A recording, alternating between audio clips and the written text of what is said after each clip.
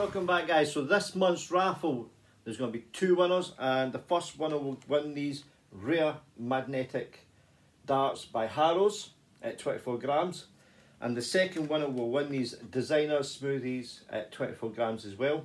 Now this will be drawn on the 7th of October so I think that's about five weeks to get your entry in for this. Again it's the same as before, £2 into PayPal, I'll leave the link below, enter as many times as you want.